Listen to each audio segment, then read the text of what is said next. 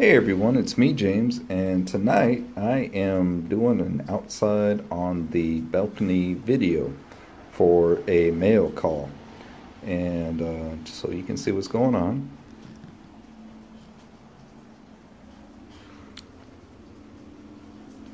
Um, Alright, so I have some new items that I procured from Long Rifle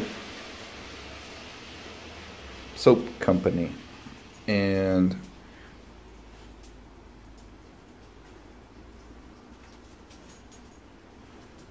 they are out of the Green Bay, Wisconsin area, and they have. Um, if you go to their website, you'll be able to see that they also have um, some retail shops that carry their items as well.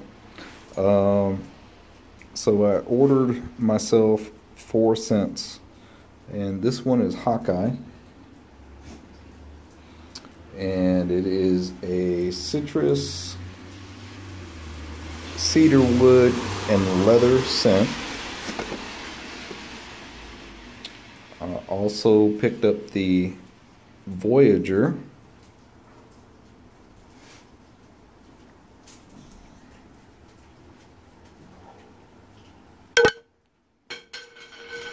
well that's what soap looks like.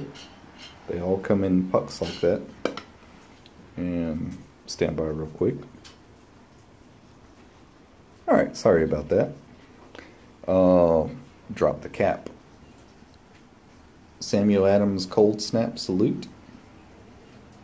Salute. Ah. That's a very nice. Right, Steve? So let me transfer those two back. Sorry about this. All right.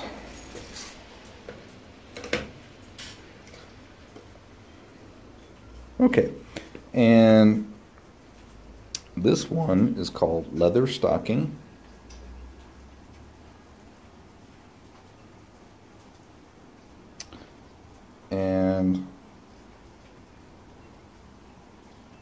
They are all three ounce pucks.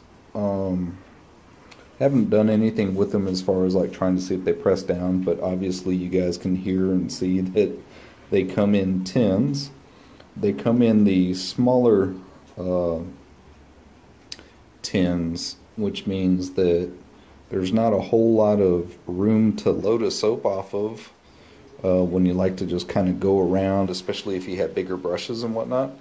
But um, ultimately, you know, I'm thinking because of that, they are probably able to be mashed down.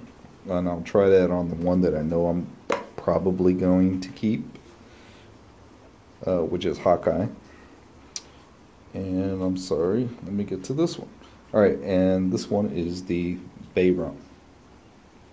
All right, so one thing I want to say is that uh, they were extremely nice in um, correspondence, and I've seen Terry Lentz off of Twitter use them, and I think that's kind of how because I probably retweeted something that he had in his shape of a day, and uh, they ended up. Uh, seeing that I did that, and I believe they followed me, and I was like, oh, who's this? And I checked it out, and because they happened to be from where my girlfriend's from up there in uh, Wisconsin, uh, Mem Birdman, I was like, okay, well, you know what? Let me read up a little bit more on them. And so I went to their website and read about them, and then ultimately I decided to pull the trigger. Now, the one thing I will say is that it's kind of interesting because I noticed that out of these four scents that I grabbed, um, a patchouli is part of the scent.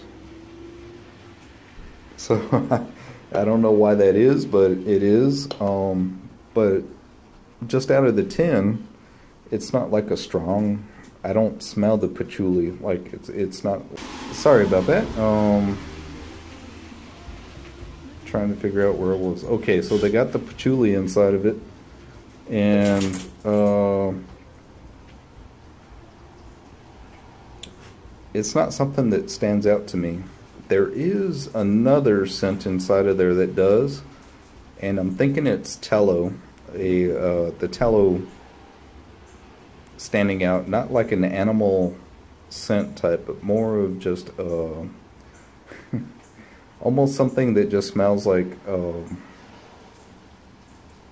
just like part of the the product, not in a bad way necessarily, but I do detect like uh, a type of scent that's in there um, throughout all of their soaps, and it's definitely not patchouli. So I'm thinking the only thing it could be that would be detectable is the tallow. I could be wrong on that. Um, but not in a bad way, like I said, but just something else inside of there that I can smell. Um, so I got these and um, like for the one that I know I'm definitely gonna, going to keep is the Hawkeye. And it's funny because I believe her name is Amanda because it was a handwritten note and um, it said that they are going through branding puberty. So got like this and it tells you like what it is underneath the soap company underneath that arrow it says citrus cedarwood lavender as the scents which normally I wouldn't like a lavender, but something about this is pretty well balanced for me, so I like it a lot. Um, pro probably the citrus elements, the bergamot, and the lemongrass it's inside of it. I like it a lot. Um,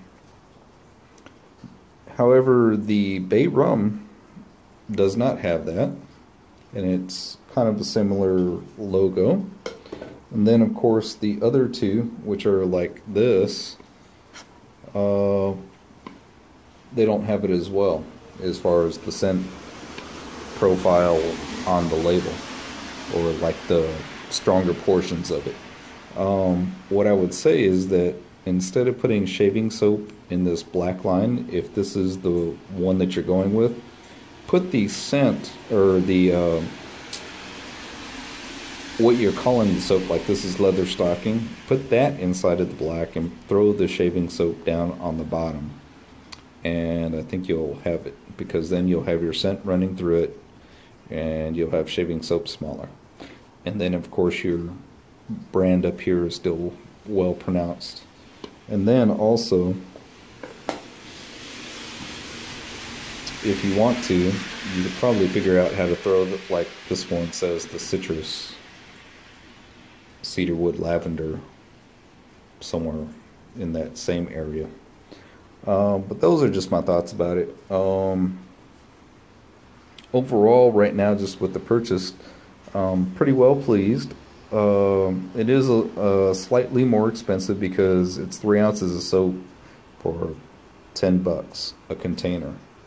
So something to keep track of. Um, as I get into using one, I'll have a video on whatever I'm using soap-wise, and I'll definitely go to another one just to make sure that the consistency of the soap itself, regardless of scent, uh, stands up against each other. Like, you know, uh, variations stay low. Uh, you want the products that you buy from a person or company to uh, behave the same when you're when you get used to it, you're lathering it. If everything's going right, you want to make sure the next time you go to a product, different scent, that you're doing well, right? So uh, those type of things. But we shall see. All right. So thank you all for watching. Have a blessed night, and I'll see you again when I see you. Bye.